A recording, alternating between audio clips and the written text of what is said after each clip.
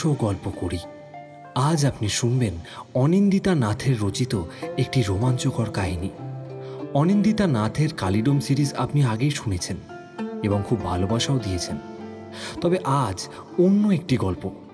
শুনতে থাকুন আজকের গল্প লিবারাসে আতঙ্ক। তবে আমরা কিন্তু প্রতি সোমবার রাত দশটা তিরিশ মিনিটে নতুন গল্প নিয়ে হাজির হচ্ছি। একটিও গল্প মিস না করতে চাইলে অবশ্যই সাবস্ক্রাইব করুন আর বেল আইকনটি প্রেস করে দিন।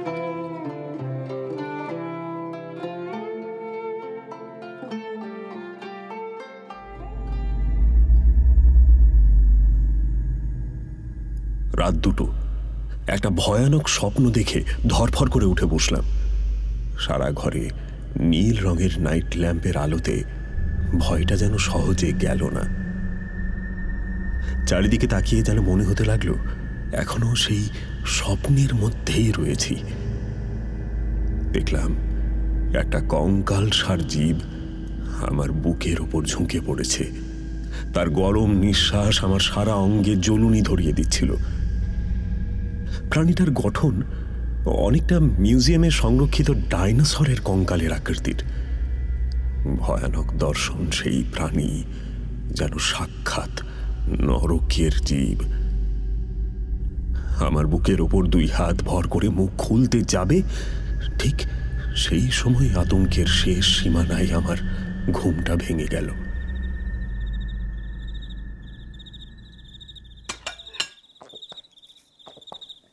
টেবিলের ওপর জলের বোতল থেকে ঢক ঢক করে খানিকটা জল খেয়ে ধাতস্থ হলাম। তারপর আর ঘুম আসেনি। পাঁচটা বাজতেই বিছানা ছেড়ে উঠে প্রাতভ্রমণে যাব। দেখি আকাশের মুখ আধার, জলে ভিজে রয়েছে তিলোত্তমা। এখনও বেশ জোরেই বৃষ্টি পড়ছে। হুম, খবরে দেখিয়েছিল বটে, বঙ্গোপসাগরে নিম্নচাপ আসছে। এ তারই আগাম বার্তা।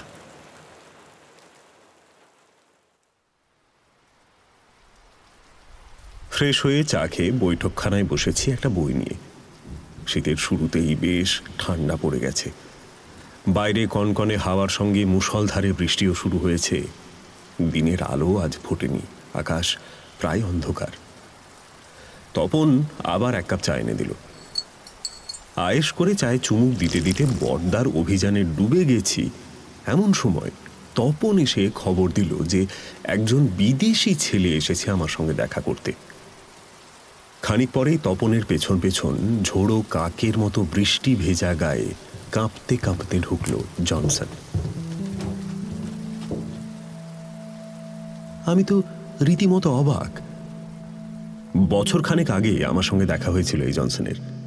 ওর কথা আলাদাভাবে মনে থাকার কারণ ও ভারতের ইতিহাস আর ধার্মিক উপাচার নিয়ে পড়াশোনা করছে। সেদিন সেমিনারে ভারতের ইতিহাসে তন্ত্রের ভূমিকা নিয়ে ভাষণ শুনে ওদের থেকে ঠিকানা নিয়ে আমার সাথে হোটেলে দেখা করতে এসেছিল।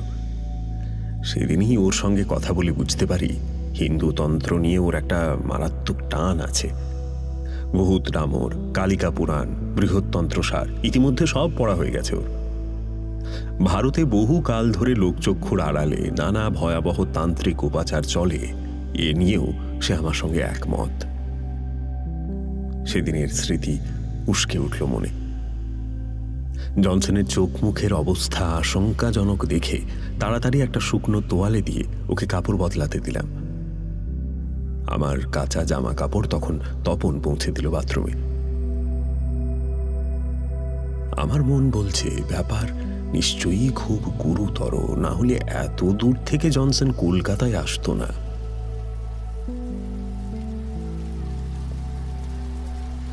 তাড়াতাড়ি তপনকে কিছু খাবার বানানোর কথা বলে অপেক্ষা করতে লাগলাম। নিজেকে পরিষ্কার করে শুকনো কাপড় পরে জনসন যখন আমার সামনে এসে দাঁড়াল ও চোখ মুখে কেমন একটা অস্বাভাবিক ভয়ের ছাপ ফুটে আসছিল ওর ভেতর থেকে। ওর বসার পর লক্ষ্য করলাম ওর চোখের তলায় গভীর কালি, যেন কত রাত ঘুমোয়নি ছেলেটা।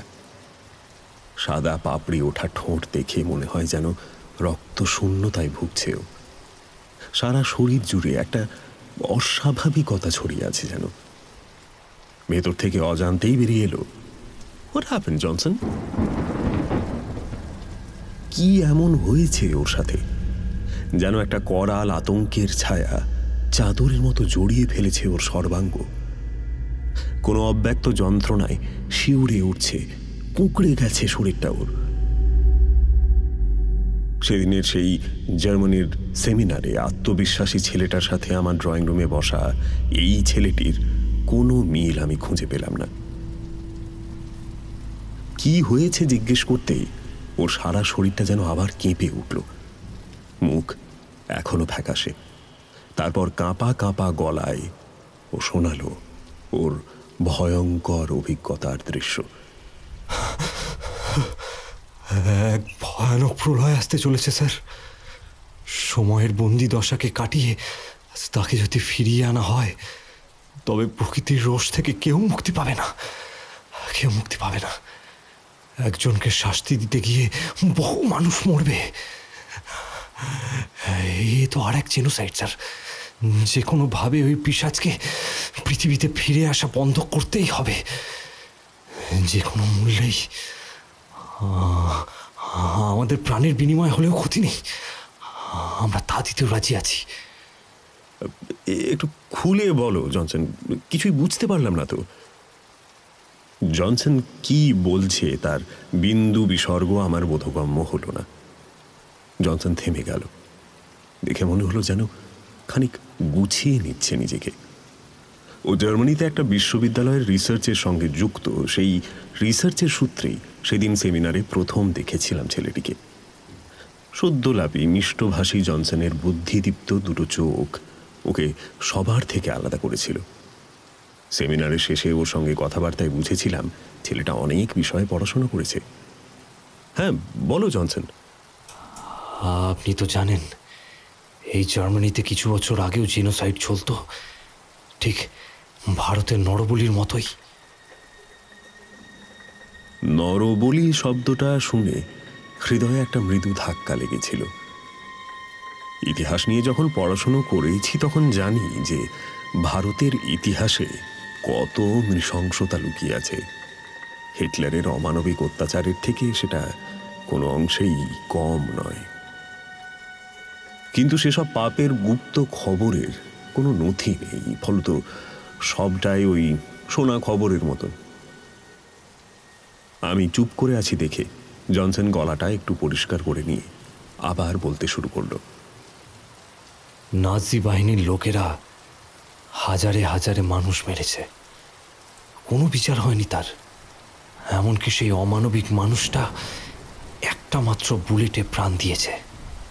এত সামান্য কষ্ট এই পাপের জন্য। যেখানে কনসেন্ট্রেশন ক্যাম্পে মহিলা, পুরুষ নির্বিশেষে ফুটন্ত কেমিক্যালে চুবিয়ে রাখা, ছাল ছাড়িয়ে মানুষের গায়ে চর্বি দিয়ে সাবান বানানো, বরফের মেঝেতে বেঁধে গায়ে গরম জল ঢেলে দেওয়া ইলেকট্রিক শক দিয়ে পুড়িয়ে কালো করে মানুষকে মেরে ফেলা, আরও কত ভয়ঙ্কর শাস্তি দিয়েছে দুর্বৃত্তরা। কিন্তু কেন? কিসের মোহে? জানেন, একমাত্র অমরত্ব প্রাপ্তির জন্য। এসব কি বলছো, জনসন? অমরত্বের জন্য নরবলি প্রথা আমাদের ধর্মে শোনা যেত, আর তাও বহু বছর আগে। সে সময় জার্মানি অনেক উন্নত ছিল। তোমার কথার কোনো প্রমাণ আছে? আছে আছে, স্যার। আমি এমনি এমনি কথাগুলো বলছি না। আপনি তো জানেন, হিটলারের সময় প্রায় দুশো কনসেন্ট্রেশন ক্যাম্পের গার্ড ও পুলিশ বাহিনী রাতারাতি কর্পূরের মতো উবে যায়। তাদের কোনো চিহ্ন পর্যন্ত পাওয়া যায়নি। আপনার কি মনে হয়, কে এসেছিল সেই রাতে? কীভাবে সে জানতে পারল যে কে শত্রু আর কে মিত্র? বন্দীদের মধ্যে একজনেরও কিন্তু কিচ্ছু হয়নি। শুধু হিটলারের সেনারা উধাও হলো। কেন? এর উত্তর কেউ জানে না। সেই রাতেই ক্যাম্পের বন্দীদের মুক্ত করেন জুইস বাহিনীর লোকেরা। সেই ক্যাম্পেই ছিলেন আমার গ্রেট গ্রেট গ্র্যান্ডফাদার আর তার লেখা একটা ডায়েরি থেকে আমি এমন কিছু জানতে পারি যার বিবৃতি ইতিহাসে নেই। কি? তোমার দাদু? হ্যাঁ স্যার এই পরিচয় আমার পরিবার আর আমার কাছের কয়েকজন মানুষ ছাড়া আর কেউ জানে না। এই ভয়ানক ইতিহাস আমাদের পরিবার সযত্নে লুকিয়ে রেখেছিল এতদিন। কিন্তু জনসন থেমে গেল। আমি ব্যস্ত হয়ে বললাম কি হলো জনসন? থেমে গেলে কেন?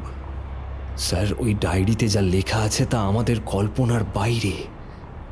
আপনি কি জানেন এই সময় দাঁড়িয়ে যখন আমরা টাইম মেশিনের আবিষ্কার থেকে কেবল দু এক পা দূরে এই জার্মানির এক প্রত্যন্ত গ্রামে এখনও নিজেদের লুকিয়ে বেঁচে আছে সেই উপাসকরা? উপাসক? হ্যাঁ এদেরকে বিজ্ঞানী না বলে উপাসক বলার কারণ বিজ্ঞান আর তন্ত্র মিলিয়ে এরা এক ভয়ানক কিছু করতে চায় এই পৃথিবীতে। সবার চোখের আড়ালে সেই প্রক্রিয়া চলছে। একটা বড় কিছু হবে, স্যার। ধ্বংসের দামামা বেজে উঠেছে। আমি নিশ্চিত সে আসবে। কিন্তু কেন, জনসন? এখন তো সেই কলঙ্কিত ইতিহাস অনেকটাই বিস্মৃতির পথে। এত বছর পর কিসের প্রতিশোধ? নাজি পার্টিকে আইন বিরুদ্ধ ঘোষণা করা হয়েছে। আর হিটলারও তো একটা বুলেট হয়তো এই পাপের শাস্তির উপযোগী নয়। আরও ভয়ানক মৃত্যুর প্রয়োজন ছিল তার। সেই মুক্তি বাহিনীর রক্ষক পৃথিবীতে আসলেই মৃত্যুদূতকে ওরা ফিরিয়ে আনবে। জনসনের দিকে আমার দৃষ্টিভঙ্গি দেখে হয়তো বুঝতে পারে। আমি ওর কথা এক বর্ণও বিশ্বাস করিনি। উঠে দাঁড়িয়ে একটা সিগারেট ধরালাম। জনসন ক্লান্ত হয়ে সামান্য ঝুঁকে চেয়ারে বসে আছে। জানালার কাঁচ বেয়ে তখনও বৃষ্টির জল আঁকিবুকি কাটছে। জনসনের দিকে না ঘুরেই বললাম, তুমি খুব ক্লান্ত, জনসন। লাঞ্চ করে একটু বিশ্রাম নাও। জনসন উঠে দাঁড়াল। আমার সামনে এসে বলল আমায় আজ বিশ্বাস করতে পারছেন না না? কিন্তু আমার রিসার্চ আপনাকে বিশ্বাস করতে বাধ্য করবে একদিন। হয়তো করবে। কিন্তু এই বয়সে এত দূরের ধকল শরীরে কুলবে না। জনসন কি বুঝলো কে জানে, ওখানেই দাঁড়িয়ে রইল। ইতিমধ্যে তপন খাবার গুছিয়ে দুবার রেখে গেছে। জনসন, তুমি যাও, খেয়ে নাও, যাও। স্যার আরেকটা কথা বলার ছিল আপনাকে। জনসন এগিয়ে যেতে গিয়ে বলল আমি জানি পুরনো পুঁথি সংগ্রহের শখ আছে আপনার। আপনি যদি জার্মানিতে যেতেন আপনাকে দাদুর ডায়েরিটা দিয়ে দিতাম। বহু বছর ধরে ওটাকে আগলে রেখেছিল আমার পরিবার। আমি চাই সব শেষ হয়ে যাওয়ার আগে ওটা সুরক্ষিত কারোর হাতে তুলে দিতে। আর এই মুহূর্তে আপনার চেয়ে বিশ্বস্ত কেউ নেই, বিশ্বাস করুন।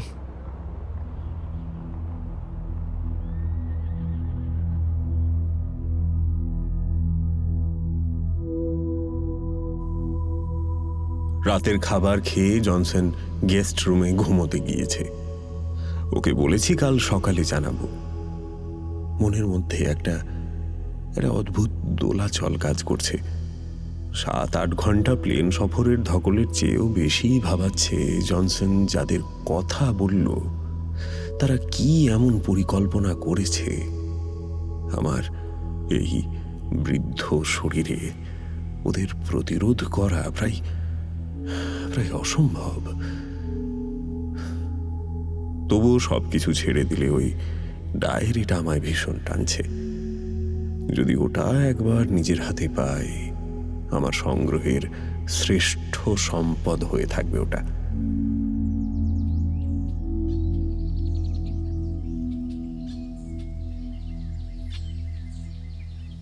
এসব ভাবতে ভাবতে চেয়ারে বসেই ঘুমিয়ে পড়েছি। সকালে ঘুম ভাঙল তপনের ডাকে। দেখি চার খবরের কাগজ নিয়ে দাঁড়িয়ে আছে। একেবারে দুপুরে উঠল জনসন। আমি চুপচাপ খাচ্ছি দেখে জনসন ভেতরে ভেতরে প্রচণ্ড অস্থির হয়ে উঠছে সেটা বুঝতে পারছি। শেষে বলেই ফেলল তা কিছু ঠিক করলেন? ওর দিকে তাকিয়ে মাথা নেড়ে পড়লাম হুম আমি যাব জনসন। ক্লান্ত মুখটা উজ্জ্বল হয়ে উঠল।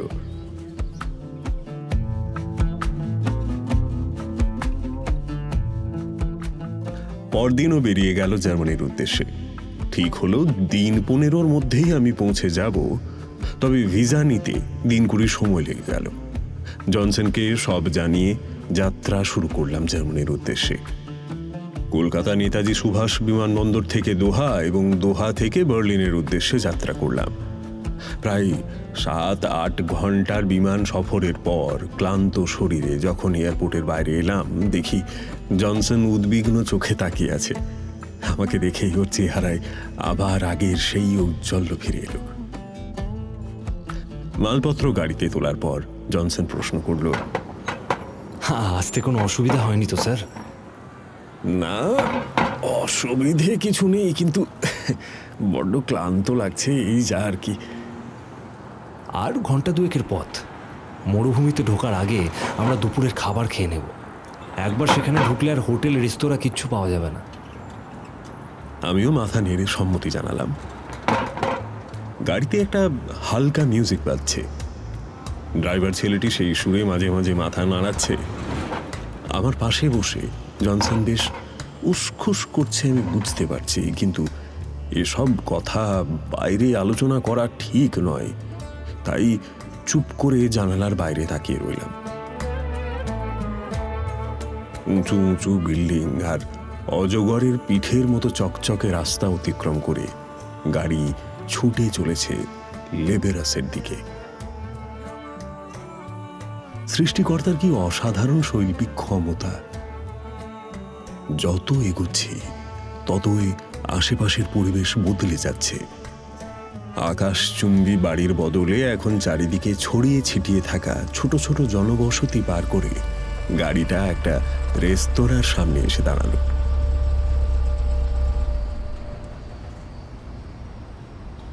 ছোট একটা হোটেল। গুটি কয়েক লোক বসে আছে। একজন মধ্যবয়স্ক লোক আর তার স্ত্রী মিলে রেস্তোরাঁটা চালায়। দোকানে ঢুকেই বুঝলাম, জনসনকে দোকানের মালিক চেনে। ও নিজের ভাষায় কথাবার্তা চালিয়ে যাচ্ছিল। আশেপাশে যে দু একজন বসেছিল, তারা সবাই মন দিয়ে খবরের কাগজ পড়ছে।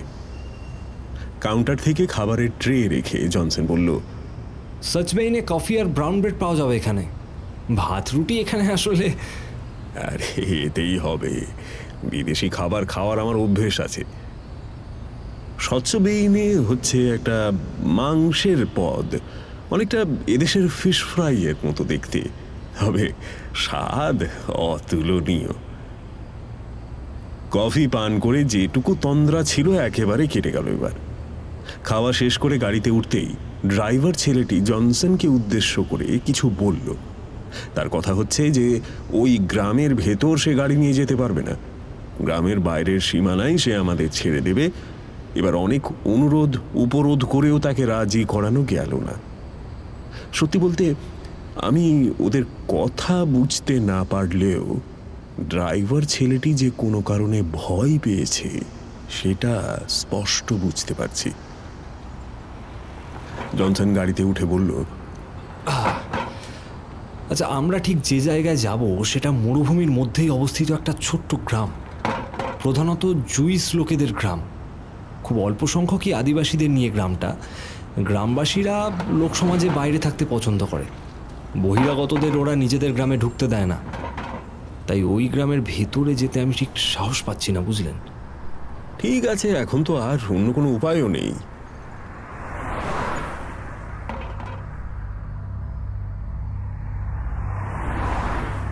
ধীরে ধীরে গাড়ি যে মরুভূমির আশেপাশে পৌঁছে যাচ্ছে, সেটা প্রকৃতি দেখেই বোঝা যায়।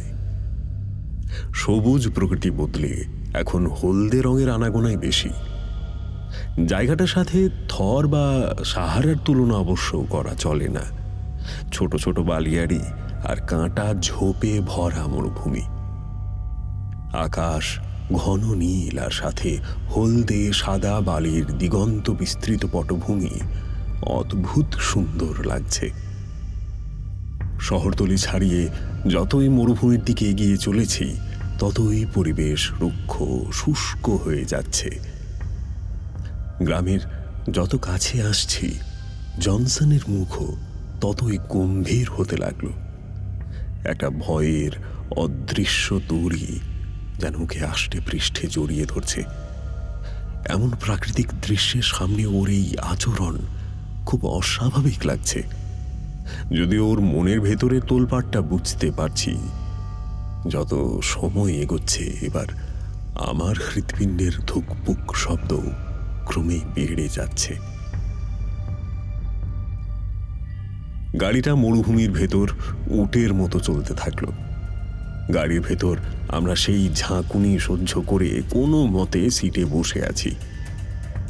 গ্রামটার নাম ফেরো। জার্মান শব্দ ফেরোহিট থেকে এসেছে, যার অর্থ স্বাধীনতা।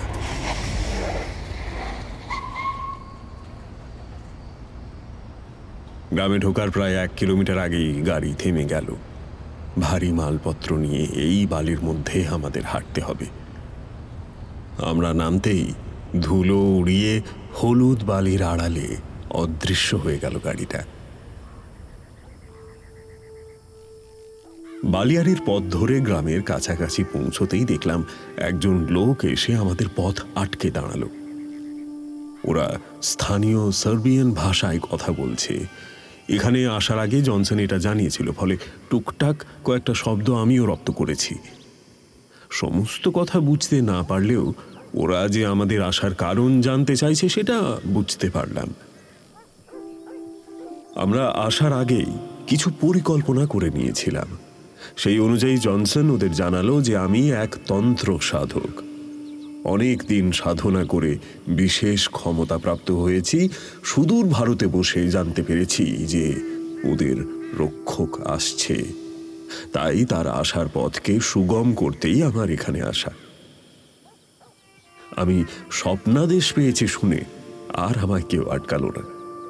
কিন্তু ওদের দৃষ্টিতে সন্দেহের ভাব পুরোপুরি দূর করতে পারিনি। জনসন নিজেকে আমার সহকারী হিসেবে পরিচয় দিল। গ্রামে ঢুকতেই ওরা আমাদের একটা কবরের সামনে নিয়ে গেল। এটা কার কবর জনসন মারিয়ার কবর। গ্রামের লোকজন বিশ্বাস করে রক্ষকের জন্মদাত্রী মারিয়া এই গ্রামের মা। আমরা সেই কবরের মাটি ছুঁয়ে শপথ নিলাম। তারপর গ্রামে প্রবেশ করার অনুমতি পেলাম। গ্রামের লোকজন স্থানীয় একজনের বাড়িতে থাকার ব্যবস্থা করে দিল। সেই বাড়িতে জনসনের বয়সী আরও একটি ছেলে ছিল। ছেলেটির নাম তুমেশ। ওর হাবভাব দেখে আমি বুঝতে পারলাম যে একে আমাদের ওপর নজর রাখার জন্য রাখা হলো। আহ, সার্বিয়ান ভাষা ছাড়াও ভাঙা ভাঙা ইংরেজি বলতে বা বুঝতেও পারে। ওর সঙ্গে কথা বলে বুঝলাম যে সে এই গ্রামের জন্য পাশের শহরে গিয়ে জ্বালানি আর আনাজ নিয়ে আসে। গ্রামের মহিলারা নানা রকম বাহারি টুপি, রকমারি খেলনা, সাথে ঘর সাজানো নানান জিনিস বানিয়ে দেয়। তুমি সেগুলোকেও শহরে নিয়ে গিয়ে বিক্রি করে। এখানে আসার আগে আমরা ঠিক করেছিলাম যে প্রথম কয়েকদিন একদম চুপচাপ থাকব। গ্রামে এদিক ওদিক ঘুরেছি সেরকম কিছু চোখেও পড়েনি। গতবার রাতের আধারে জনসন যখন একা লুকিয়ে খোঁজ চালাচ্ছিল, তখনই সে দেখতে পায় এই মরুভূমির মধ্যে কোথাও মাটির নিচে একটা বড় ল্যাবরেটরি আছে। সেখানেই ওরা কাজ করে। পুরো গ্রামে একটা চাপা উত্তেজনা বোধ করছি। রক্ষকের আসার প্রস্তুতি চলছে, সেটা আমরাও বুঝতে পারছি, কিন্তু সবটা এতটাই গোপনে যে কিছু করার সুযোগ নেই।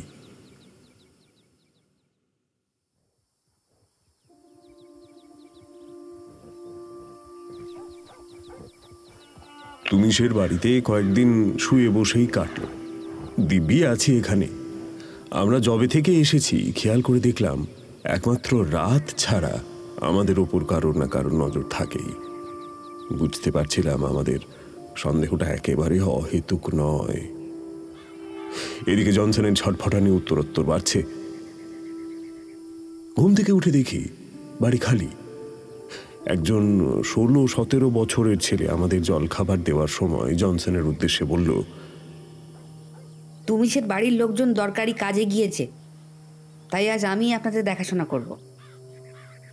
খেতে খেতে চারিদিকে তাকিয়ে জনসন বলল আজ কেউ নেই স্যার। এই সুযোগ ওদের ল্যাবটা খুঁজে বের করার। তাড়াতাড়ি খাওয়া দাওয়া সেরে চলুন বেরিয়ে পড়ি। হাতে আমাদের সময় বড্ড কম। আমার মনের ভেতরেও যেন কেউ বলছে, আজ রাতে সে আসবে। যা, এখান থেকে চলে যা। মনের মধ্যে কথাগুলো অনুরণন হয়েই চলেছে একইভাবে। আমার অমনোযোগী ভাব দেখে জনসন বোধ করি কিছু সন্দেহ করল। স্যার, আপনি ভয় পাচ্ছেন না তো? আরে, না না, ও সব কিছু না। তবে কলকাতার বাড়িতে তুমি যা বলেছ, সেরকম কিছু হলে অবশ্যই ভয় পাচ্ছি। কারণ সেই হিংস্র জীব থেকে নিজেকে উদ্ধার করার কোনো উপায় তো জানা নেই।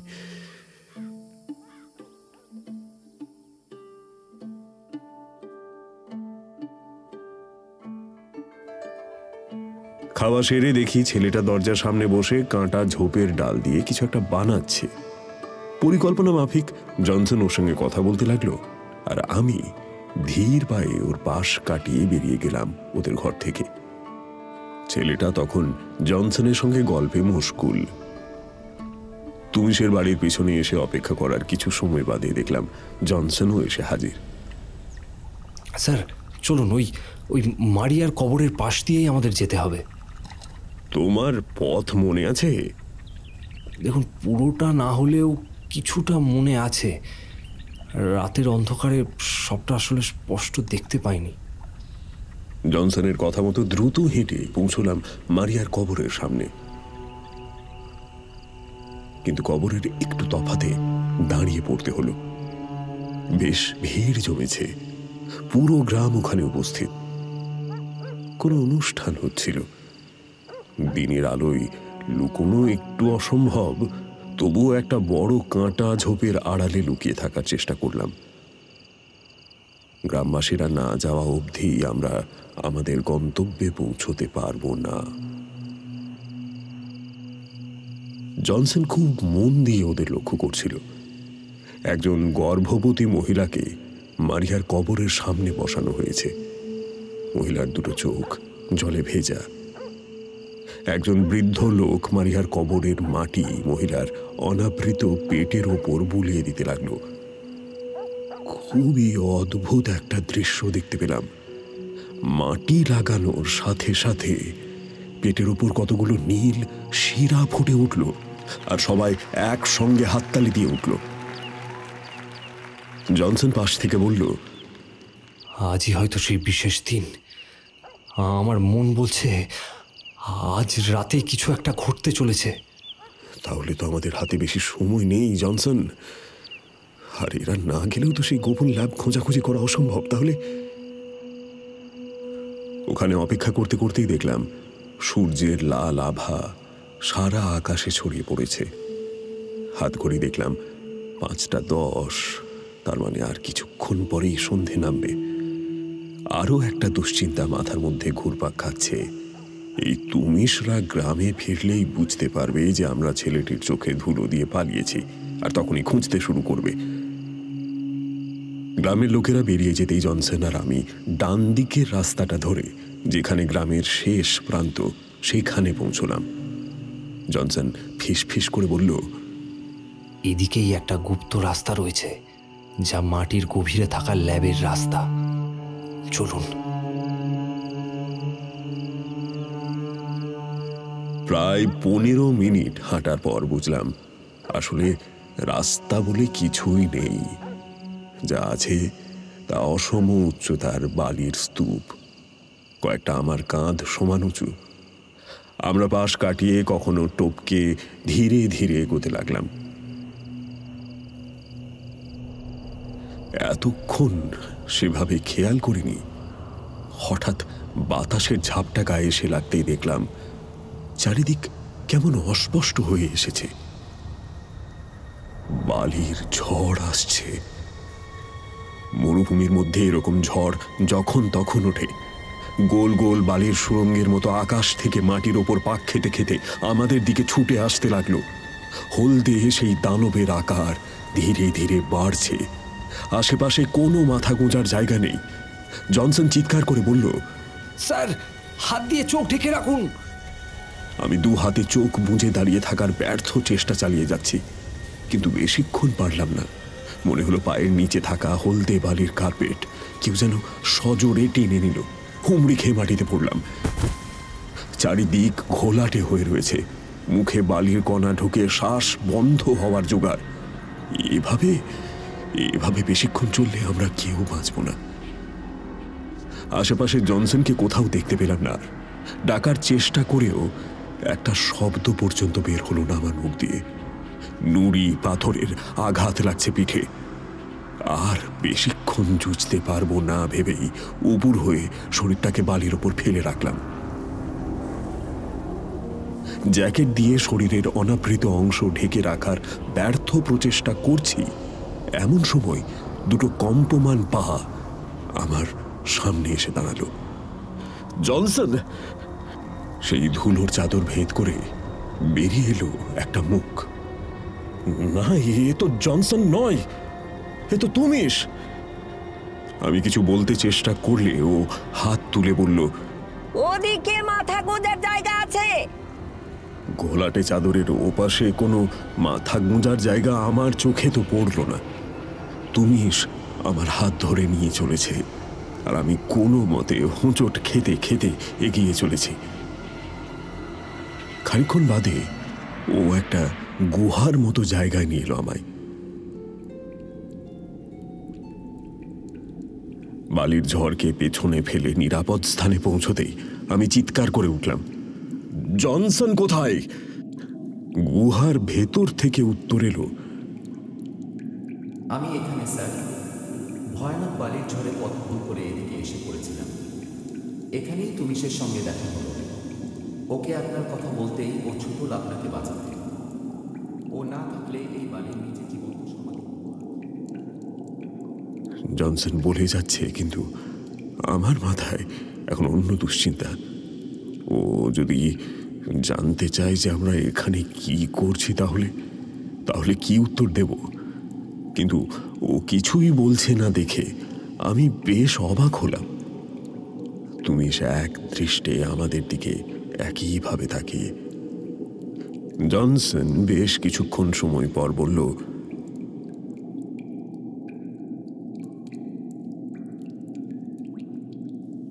কিন্তু মাঝপথেই জনসনকে থামিয়ে দিয়ে আমার হাতটা ধরে বারবার চুমু খেতে লাগল তুমিস কি হচ্ছে বুঝতে না পেরে বোকার মতো তাকিয়ে থাকলাম। ভাঙা ইংরেজি ভাষায় যা বলল তার অর্থ গ্রামের সবাই তোমাদের খুঁজতে খুঁজতে ক্লান্ত হয়ে গেছি। এমন সময় মারিয়ামা তোমাদের রাস্তা দেখিয়ে দিলেন। মারিয়ার মা? হ্যাঁ ওই দেখো মা দাঁড়িয়ে। সন্ধ্যের অন্ধকারে আমি কাউকে দেখতে পেলাম না কিন্তু তুমিসকে কিছুই বললাম না। চলো সজের আসার সময় হয়ে গেছে। কোথায় যাব? তুমি আর কিছু না বলে গুহা থেকে বেরিয়ে হাঁটতে শুরু করল। আমি আর জনসন ওর পেছনে নিঃশব্দে ওকে অনুসরণ করছি। আমার মাথায় তো কিছুই আসছে না। যে পরিচয় এসেছি তার কোনো বিদ্যা দিয়ে কি এই ভয়াবহ পরিকল্পনাকে বন্ধ করা সম্ভব?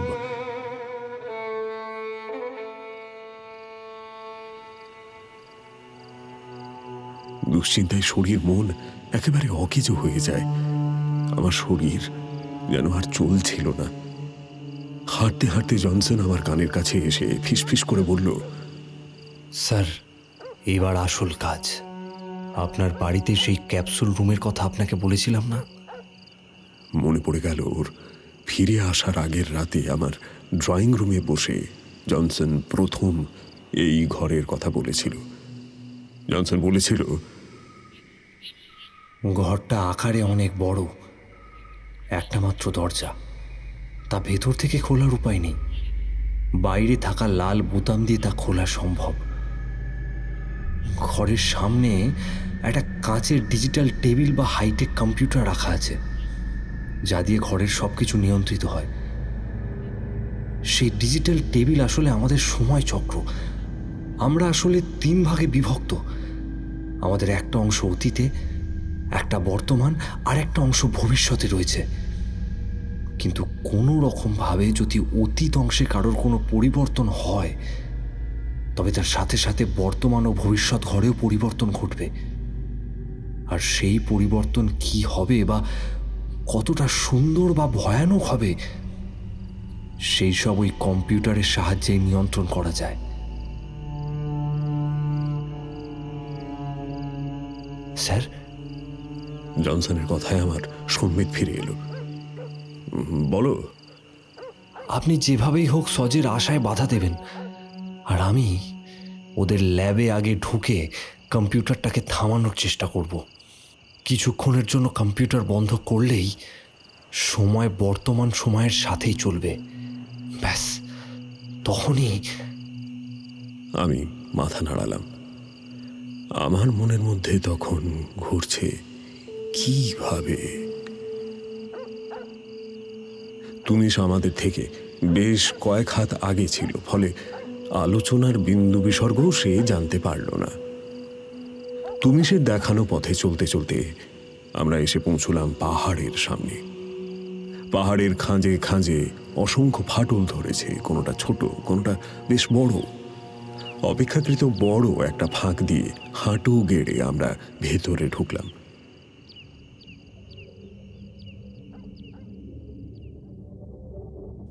খানিকটা রাস্তা এভাবেই হাঁটু মুড়ে চার পেয়ে প্রাণীর মতো চলার পর গুহার ছাদের উচ্চতা একটু বাড়ল। ততক্ষণে কোমর ধরে এসেছিল। সোজা হয়ে দাঁড়িয়ে এগোতে যাব তুমিস দাঁড়িয়ে যাবার ইঙ্গিত করল। কয়েক মাস আগে কেউ বা কারা তাদের ল্যাবরেটরিতে ঢোকার চেষ্টা করেছিল। তাই এখানে লেজার শিল্ড লাগানো হয়েছে। আমি জনসনের দিকে তাকিয়ে দেখলাম ওর মুখ পাংশুবর্ণ হয়েছে। বুঝলাম ওর উপস্থিতি এরা বুঝতে পেরেছে, কিন্তু ধরতে পারেনি। তুমিস গলা থেকে একটা অদ্ভুত স্বর বের করার সাথে সাথে আমাদের পায়ের নিচের পাথরটা নড়ে উঠল। প্রায় পড়ে যেতে যেতে নিজেকে সামলে নিলাম। পায়ের নিচের পাথরটা বেশ জোরে নিচের দিকে নামতে শুরু করেছে। সামলে নিতেই বুঝলাম আমরা কোনো একটা অদৃশ্য গ্লাস লিফটে আছি। প্রায় দশ সেকেন্ড পর লিফট থামল। তুমি সের পেছন পেছন আমরা আবার এগোলাম। জনসনের মুখের ভাব বলছে সে এই জায়গায় আগেও এসেছে। এখানে আসার পর তুমিশের হাব ভাব একেবারে আলাদা। আমাদের উদ্দেশ্যে সে বলল আপনারা অপেক্ষা করুন। উপাসনা শুরুর আগে আমি আপনাদের নিয়ে যাব। বেরিয়ে গেল তুমিস খেয়াল করলাম ওর বাইরে যাওয়ার সাথে সাথে কেউ যেন ঘরের দরজাটা বাইরে থেকে বন্ধ করে দিল। জনসনের দিকে তাকিয়ে দেখি সে উদ্বিগ্ন মুখে আমার দিকে তাকিয়ে। এখন কি করণীয় জনসন? বুঝতে পারছি না স্যার। ল্যাবে না পৌঁছলে কিছুই তো করতে পারব না। জনসন ধরো এরা উনিশশো পঁয়তাল্লিশ সালে পৌঁছে হিটলারের মৃত্যুর আগে তাকে বর্তমানে ফিরিয়ে নিয়ে এলো। তারপর কি হবে বুঝতে পারছ? হ্যাঁ হ্যাঁ হ্যাঁ এটাই ওদের পরিকল্পনা। সেদিন আমার গ্রেট গ্রেট গ্র্যান্ডফাদারের ডায়েরিটা আমি পেয়েছিলাম। ওতে লেখা ছিল সেই রাতের কথা যে রাতে ওরা মুক্তি পেয়েছিলেন নাৎজি পার্টির গার্ডেদের হাত থেকে। জনসনের পকেট থেকে একটা লাল রঙের ডায়েরি বেরিয়ে এলো। তার অধিকাংশ পাতা হলদে হয়ে গেছে। সেইখান থেকেই পড়া শুরু করে জনসন। এই দেখুন, এই সে বই। সেই রাতে মারিয়াকে ওরা তুলে নিয়ে যায় পরীক্ষার জন্য। মারিয়ার আর্তনাদ ভেসে আসে পাশের ক্যাম্পের ঘর থেকে।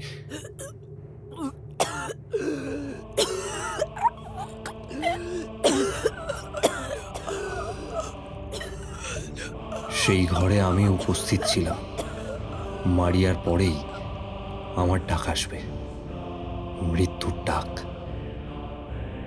গরম জলের একটা ফুটন্ত টাব অনর্গল অভিশাপের মতো বুদবুদের চিত্র এঁকে যাচ্ছে।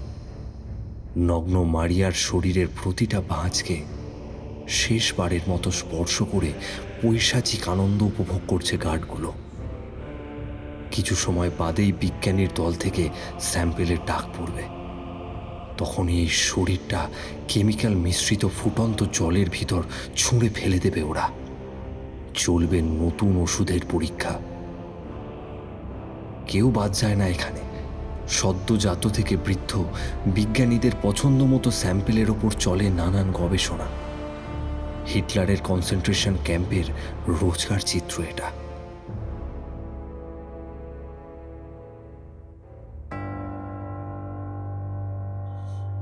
মারিয়া তখন ন মাসের অন্তঃসত্ত্বা করাল মৃত্যুর ডাক এসেছে তার জন্য। পেটের ওপর হাত রেখে শেষবারের মতো স্মরণ করল মৃত ঠাকুমাকে। মারিয়ার ঠাকুমার ডাইনি বিদ্যা জানতেন, জড়িবুটি মিশিয়ে বিশেষ ওষুধ বানিয়ে দিতেন, কঠিন অসুখ সারাতে পারতেন। তাছাড়া আরও বিস্তারিত বললে, শয়তানকে পৃথিবীতে ডেকে আনার ক্ষমতা ছিল তার। আর বংশ পরম্পরায় সেই জ্ঞান মারিয়াও শিখেছিল ঠাকুমার কাছে। শেষ মুহূর্তে আর কোনো উপায় না দেখে একটা বিশেষ জড়িবুটি সবার চোখের অলক্ষে খেয়ে নিয়েছিল মারিয়া। সেই রাতে আমরা দেখেছিলাম কালা জাদুর প্রভাব। ওষুধ খাওয়ার পরেই জনিপথে বেরিয়ে আসে মারিয়ার সন্তান। তাকে দেখতে বড় ভয়ানক ছিল। কঙ্কাল সার একটা জীব। তার সারা গায়ে সবুজ জেলির আস্তরণ হাত পা কোনো সরীসৃপের মতো। উচ্চতা প্রায় সেকেন্ডে সেকেন্ডে বৃদ্ধি পেয়ে ছয় ফুটের কাছাকাছি চলে আসছে। কোমরের পেছনের একটা সরু লেজ আর গায়ে অজস্র কাঁটা। মুখ দিয়ে লালা ঝরে পড়ছে। চোখ দুটো যেন জ্বলন্ত কয়লার টুকরো। কনসেন্ট্রেশন ক্যাম্পের বিজ্ঞানীরা সেই দৃশ্য দেখে অজ্ঞান হয়ে যায়। প্রাণীটা বুকে হেঁটে এগিয়ে যায় তাদের দিকে। সবাই ভাবল, শয়তানের দুধকে পৃথিবীতে ডেকে এনেছে মারিয়া। বুভক্ষুর মতন নিমেষেই চিবিয়ে শেষ করে দেয় ক্যাম্পের গার্ডদের। আটক থাকা বন্দিরা সরল্লাসে ছুটে যায় প্রাণীটার দিকে। মারিয়ার সন্তান স্বয়ং শয়তান, তাদের রক্ষক। সচ একে একে ক্যাম্পের সব গার্ডদের চোখের নিমেষে শেষ করে দেয় সে। সেই রাতে অন্ধকারে জঙ্গল ভেদ করে ছুটতে থাকে সজ। নরক থেকে বহু বছরের ক্ষুধা নিয়ে যেন সে ফিরে এসেছে পৃথিবীতে।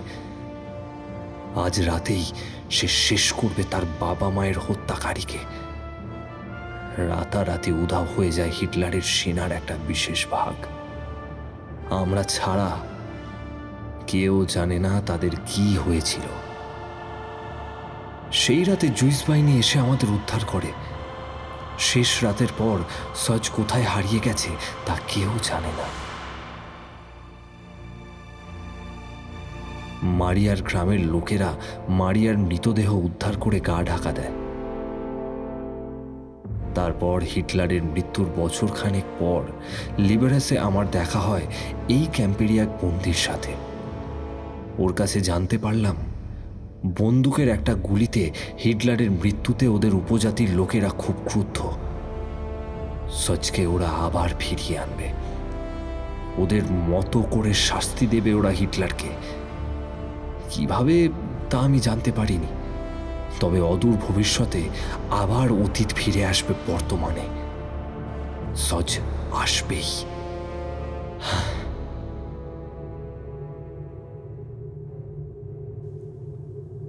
এই পর্যন্ত বলে জনসন থামল। খানিকটা দম নিয়ে এসে আবার বলল ব্যাস আর কিছু লেখা নেই এই ডায়েরিতে। এই ডায়েরি পড়েই আমি খোঁজ শুরু করেছিলাম। ছদ্মবেশে লুকিয়ে ঢুকেছিলাম এই গ্রামে। কোনো মতে ল্যাবরেটরিতে ঢুকে পড়েছিলাম আমি। দূর থেকে সব দেখলেও কম্পিউটারের সামনে পৌঁছতে পারিনি কখনো। বেশি চেষ্টা করতে ওরা টের পেয়ে যায়। আমি প্রাণ হাতে নিয়ে পালিয়েছিলাম তখন। আর আর তারপরেই আপনার কথাটা মাথায় আসে, স্যার। এই বিপদ থেকে আপনিই পারবেন আমাদের বাঁচাতে। বুঝলাম, জনসন। তবে তুমি আমাকে যার কথা বললে তাকে কি তন্ত্র দিয়ে আটকানো সম্ভব? কেন নয় স্যার? কালা জাদুর প্রভাবে তার সৃষ্টি বিজ্ঞানের সহায়তায় এরা সেই সাচকে টাইম ট্রাভেলের মাধ্যমে এই বিশেষ ঘরে ঢুকিয়ে দেবে। তারপর হিটলারকে ডেকে নিয়ে আসবে সেই সময়ে তারপর তাড়িয়ে তাড়িয়ে ভয়ানক মৃত্যুকে প্রত্যক্ষ করবে এরা। কথা বলতে বলতে শুনলাম ঘরের বাইরে দরজার শিকল খুলে গেল। তুমিস উপস্থিত। চলুন আপনারা ওর আসার সময় উপস্থিত। তুমিসকে অনুসরণ করে এগিয়ে যাচ্ছি। জায়গাটা বেশ অন্ধকার। ছোট ছোট আলো আছে তবে সেগুলোও যেন অন্ধকারকে আরও বাড়িয়ে তুলছে। পায়ের নিচে ভেজা ভেজা ঠেকল তবে জলটা বেশ গরম। মিনিট খানেক পরে একটা ঘরে ঢুকলাম। ঘরের আকৃতি অনেকটা গম্বুজের মতো। আমাদের ডান দিকে সেই ঘর, যার আকৃতি অনেকটা ক্যাপসুলের মতো। তার পাশেই সেই টেবিল কম্পিউটার, যার ওপর তিনজন মগ্ন হয়ে কাজ করছে। বাঁদিকে তাকিয়ে দেখি সকালের সেই গর্ভবতী মহিলা, যাকে মারিয়ার কবরের সামনে দেখেছিলাম। সম্পূর্ণ নগ্ন অবস্থায় একটা পাথরের বেদির ওপর শায়িত। বোঝাই যাচ্ছে সম্পূর্ণ অচেতন। চোখের কোণে জলের শুকনো রেখা এখনও দেখা যাচ্ছে। আমি আর জনসন চোখ সরিয়ে নিলাম। এরই মধ্যে কখন আরও একজন মানুষ আমার পেছনে এসে দাঁড়িয়েছে, তা আমি বুঝতে পারিনি। পরিষ্কার বাংলায় তিনি বললেন অতনুবাবু আপনি ওই সামনের চেয়ারটায় বসুন। এরকম পরিস্থিতিতে একজন বাঙালির উপস্থিতি একেবারেই অপ্রত্যাশিত ছিল আমার কাছে। ভূত দেখার মতো চমকে উঠলাম। উনি হাতের ইশারায় আমায় একটা আসনের সামনে বসতে বললেন। "আ- আ- আপনি এসবের এখন সময় নেই। বসুন। লোকটার কথার মধ্যে একটা অনুচ্চারিত আদেশ ছিল। আমি কোনো বাধা না দিয়েই ওই আসনে বসে পড়লাম। একটা হোমকুণ্ড রাখা আমাদের সামনে। যজ্ঞ করার সব সরঞ্জাম উপস্থিত। সেই বাঙালি ভদ্রলোক আমার সামনের আসনে বসলেন। পাশ থেকে জনসনের চিৎকার ভেসে আসতেই সেদিকে তাকিয়ে দেখি কয়েকজন লোক এসে জনসনকে ধরে নিয়ে যাচ্ছে। আরে ওকে কোথায় নিয়ে যাচ্ছ? দুটো সন্ডা মার্কা লোক আমার কাঁধ চেপে আমাকে বসিয়ে দিল। ততক্ষণে বন্দুকের ঠান্ডা নল আমার পিঠ স্পর্শ করেছে। ছটফট করে কোনো লাভ নেই বুঝলেন? যা বলা হচ্ছে শুনলে আপনারই মঙ্গল। আপনি কে? নমস্কার আমি শাশ্বত উপাধ্যায়। আমরা আগে থেকেই জানতাম আপনাদের উদ্দেশ্য। এখনও পর্যন্ত যা যা করেছেন এবং যা যা করার পরিকল্পনা করেছেন সবটাই। এমনকি কলকাতার বাড়িতে তপনের হাতে চা খেতে খেতে জনজনের গোটা কথোপকথনটাই আমরা জানতে পারি। দেখুন, ইচ্ছে করলে আমরা ওই মুহূর্তেই অতীতের দরজায় ফিরে গিয়ে জনসনকে সরিয়ে দিতে পারতাম। সে বিজ্ঞান আমাদের করায়ত্ত কিন্তু করিনি কেন জানেন? আমার মুখে কোনো কথা জোগায় না। শাশ্বতবাবু আবার বলতে শুরু করেন। আমাদের এমন একজন জার্মানির দরকার ছিল যার শরীরে হিটলারের আত্মাটাকে প্রতিস্থাপন করা যায়। শারীরিক গঠন অনুযায়ী জনসনের উচ্চতা শারীরিক আকার সবই প্রায় সবই মিলে যায় হিটলারের সাথে হুবহু। আমি সাথে সাথে বাধা দিয়ে বললাম জনসন জুইশ। আমার মা যে জার্মান জনসনের চিৎকার ক্ষীণ হয়ে এসেছে। চোখের কোণ দিয়ে দেখলাম ততক্ষণে ওরা জনসনকে ধরে ওই ঘরে ঢুকিয়ে একটা লোহার চেয়ারে বসিয়ে বেঁধে দিয়েছে।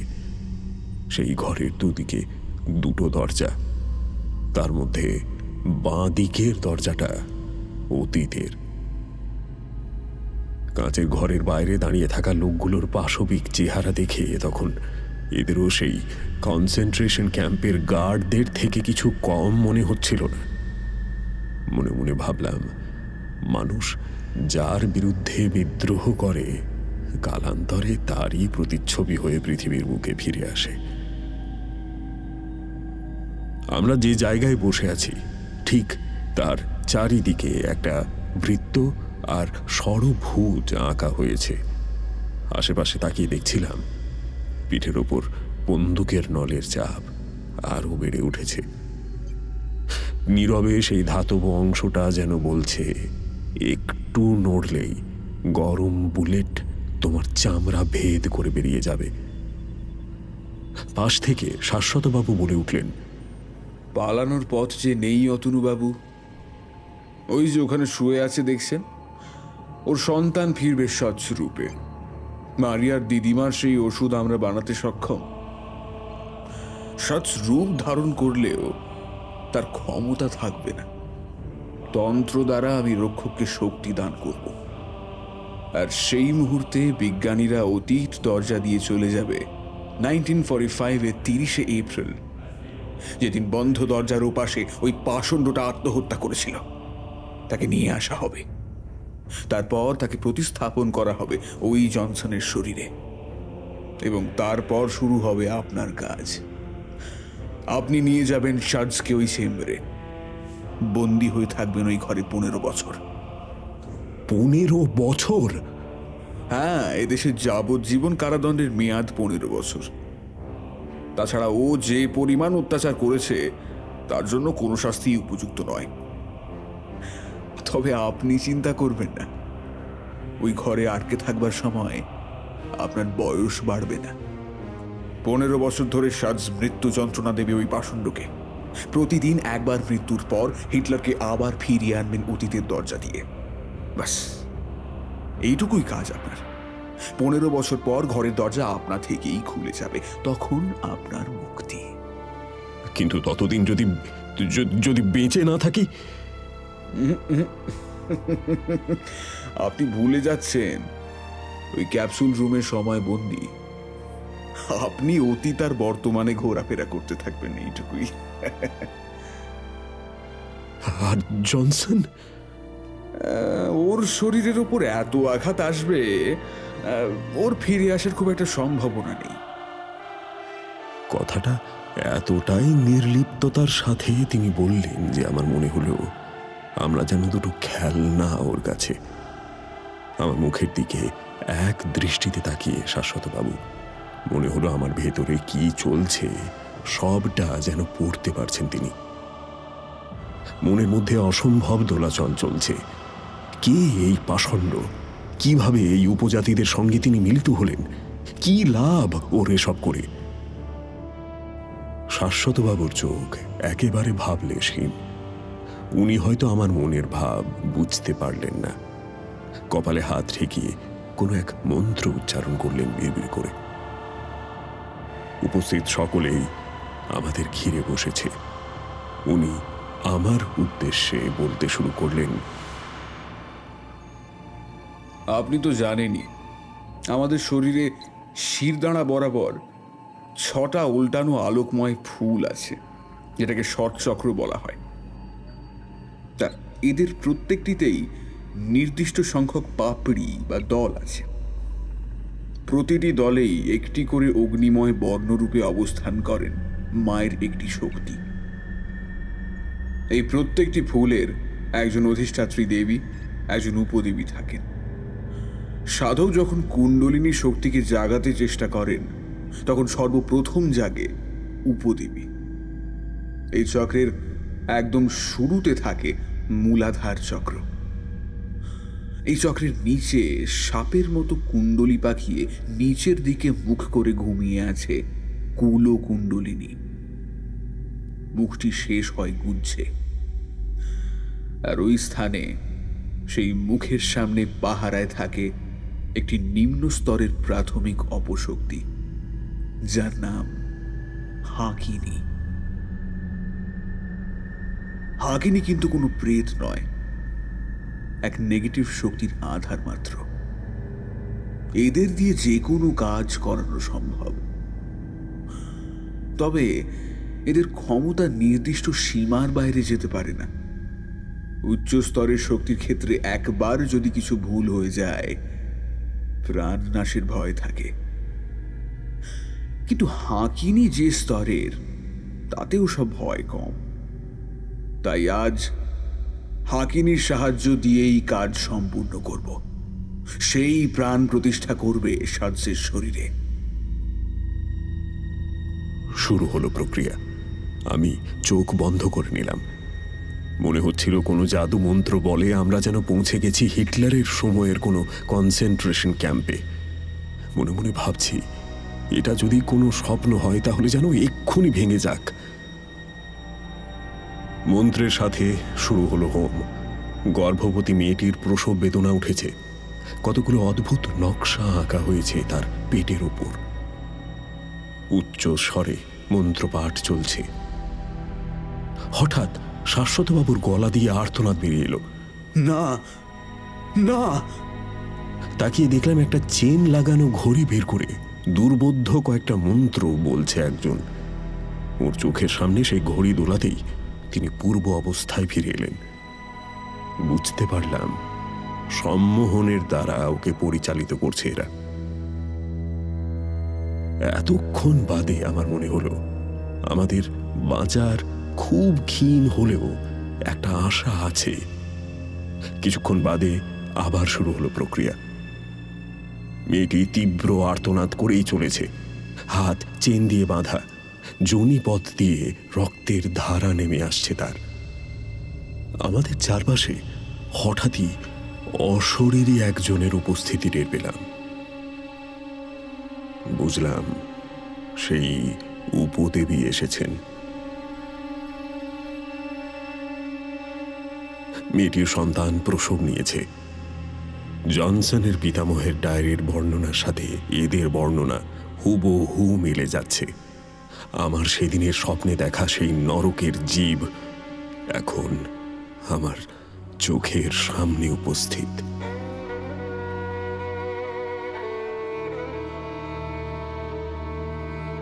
কিন্তু প্রাণীটি মৃত। শাশ্বতবাবু নানা উপাচারের মাধ্যমে ওর প্রাণ প্রতিষ্ঠা করার চেষ্টা করছেন। চারিদিকে নজর ঘোরালাম। সবার নজর ভূমিষ্ঠ হওয়া সজের ওপর। ডিজিটাল কম্পিউটারের আশেপাশেও যারা ছিলেন, তারাও এদিকে ফিরে এসেছেন। সেই কাঁচের ঘরের ভেতরে থাকা জনসন ইতিমধ্যে পকেটে রাখা ছোট ছুরি দিয়ে নিজের হাতের বাঁধন খুলে ফেলেছে। চোখের ইশারায় আমি ওকে শান্ত থাকতে বললাম, শাশ্বতবাবু, এবার আমার হাতের একটা নখ কেটে প্রাণীটির মুখে দিলেন আর সাথে সুচ ফুটিয়ে তিন ফোঁটা রক্তও নিলেন। আর সঙ্গে সঙ্গে বিকট আর্তনাদে ল্যাবরেটরি কেঁপে উঠল। সবাই একসাথে হাততালি দিয়ে উঠল। জীবিত হয়ে উঠেছে সজ। এরা সরোল্লাসে ফেটে পড়েছে। তান্ত্রিক উপাচারে ওর প্রাণ প্রতিষ্ঠা সম্ভব হয়েছে।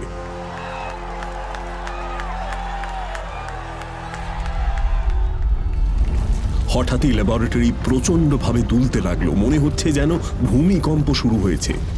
এর মধ্যে আমার হাতে সজকে তুলে দিয়ে ইশারা করা হলো কাঁচের ঘরের দিকে গিয়ে যেতে। জনসন প্রস্তুত। টেবিলের ওপর ঝুঁকে থাকা তিন বিজ্ঞানী গভীর মনোযোগ দিয়ে আবার তাদের কাজে লিপ্ত হয়েছেন। আমি বৃত্তের পরিধির বাইরে বেরোতেই যজ্ঞকুণ্ডে আগুনের হলকা উঠল।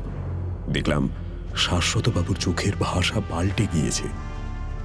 বুঝতে পারলাম, আগুনের তাপে সম্মোহন কেটে গিয়েছে। তুমিস ধাক্কা দিয়ে আমাকে কাজের ঘরের ভেতর ঢুকিয়ে দিল। এদিকে পায়ের নিচের জমি ক্রমাগত কেঁপে কেঁপে উঠছে। আমি ভেতরে ঢুকতেই ঘরের প্রবেশ পথ বন্ধ হয়ে গেল। জনসনের মাথার পেছনে কালো গহ্বর খুলে গিয়েছে। সেই অন্ধকার দিয়ে ইতিহাস থেকে কেউ আসছে। সজের আকার ক্রমাগত বৃদ্ধি পাচ্ছে। অতীতের দরজা পেরিয়ে গোলাকার বলয় দিয়ে সে এসেছে। ততক্ষণে বাঁধন ছেড়ে জনসন চেয়ার ছেড়ে উঠে পড়েছে। আর সেই জায়গায় আমি বসিয়ে দিলাম সদ্য ভূমিষ্ঠ সজকে। আমার আদেশ অমান্য করার অধিকার নেই তার। বাইরে একবার তাকিয়ে দেখলাম ওরা হাহাকার করতে শুরু করেছে। ওদের রক্ষক আর মৃত্যুদূত এখন একই শরীরে বন্দী। কড় কড় করে শব্দ আসছে কোথা থেকে যেন প্রকৃতির রুষ্ট প্রলয় আসছে। চেয়ারে বসে থাকা জীবটার হাতে বন্দুক এসেছে অতীতের হাত ধরে মনে পড়ল শাশ্বতবাবুর বলা কথাগুলো। History repeats itself again and again ওরা ওই তিরিশে এপ্রিল হিটলারের মৃত্যুর সময়টাতেই তাকে ফিরিয়ে এনেছে। বন্দুকের নল সৎসজের কানের পাশে গর্জে উঠল। খুলি ফেটে রক্তাক্ত হলো সজ, কিন্তু মরল না। আবার একই ঘটনার পুনরাবৃত্তি হয়েই চলল বারংবার বারংবার।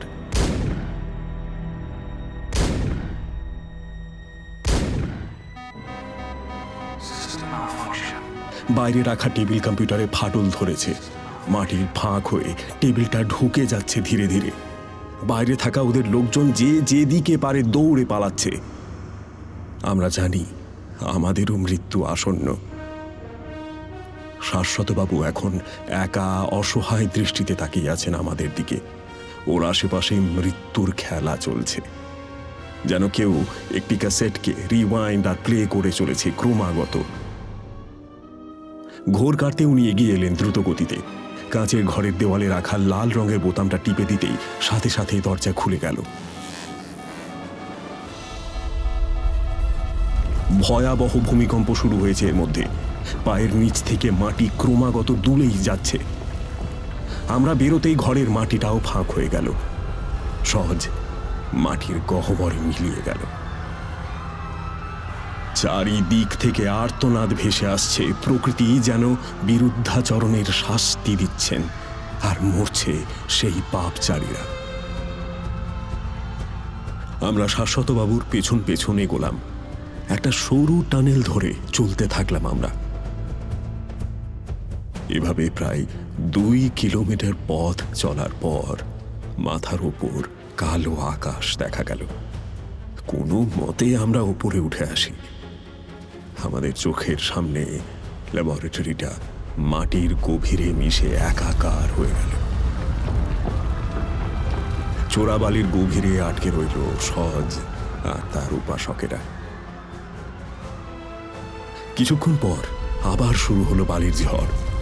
হে এদিকে দক্ষিণ দিকে এগোলেই আমরা শহরের সীমানায় পৌঁছে যাব। আসুন। দৌড়তে দৌড়তেই দেখলাম হলুদ দৈত্যের আকারে ঝড় আছড়ে পড়ছে লেবেরাসের মাটিতে।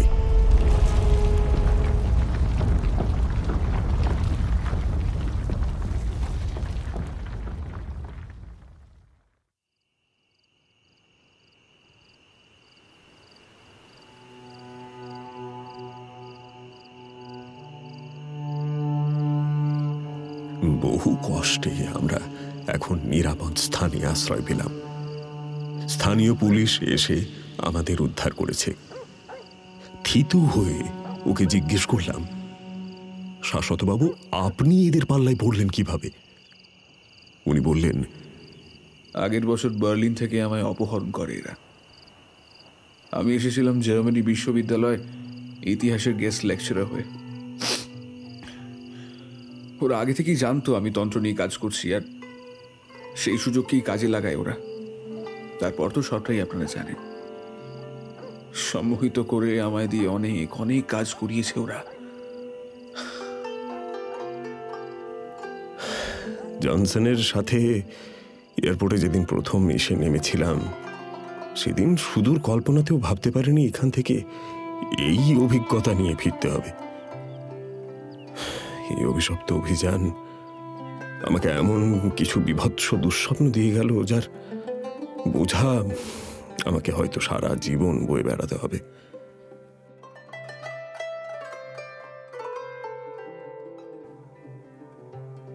প্রকৃতি নিজের ওপর হওয়া অত্যাচারের প্রতিশোধ নিজেই নিতে সক্ষম। ফলত এই ঘটনার কোনো প্রমাণ পাওয়া যায়নি। কয়েকদিন হাসপাতালে থেকেই আমরা সুস্থ হয়ে যাই। জনসন ফিরে গিয়েছে নিজের বাড়িতে। আমিও কলকাতায় ফিরে এসেছি। শাশ্বত উপাধ্যায়ও নিজের বাড়িতে সুস্থ শরীরেই পৌঁছে গেছেন। এক বছর বাদে পরিবারে ফিরে তিনিও খুব খুশি। আজও একাকে বিকেলে বৈঠকখানায় বসে একটা চিন্তা মাথায় ঘুরপাক খায়। টাইম জোনে বদ্ধ সজের মুক্তি কি হয়েছে? মৃত্যুর অনুরণন কি এখনও অভিনীত হচ্ছে কালের গহ্বরে? নাকি? সেও মুক্তি পেয়ে বিলীন হয়ে গিয়েছে মরুভূমির বালুরাশিতে।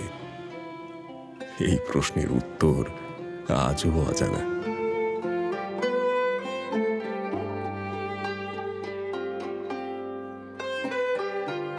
ইতিহাসকে বিকৃত করলে তার ফল কখনোই ভালো হয়নি। কেমন লাগল আজকের গল্পটি? ভালো লাগলে অবশ্যই লাইক করো। আর প্লিজ এখনও সাবস্ক্রাইব না করে থাকলে অবশ্যই সাবস্ক্রাইব করে দাও। দেখা হবে সামনের সপ্তাহে, সোমবার ঠিক রাত দশটা তিরিশ মিনিটে। ততক্ষণ পর্যন্ত শুভরাত্রি, ভালো থাকবেন এবং সকলকে ভালো রাখবেন।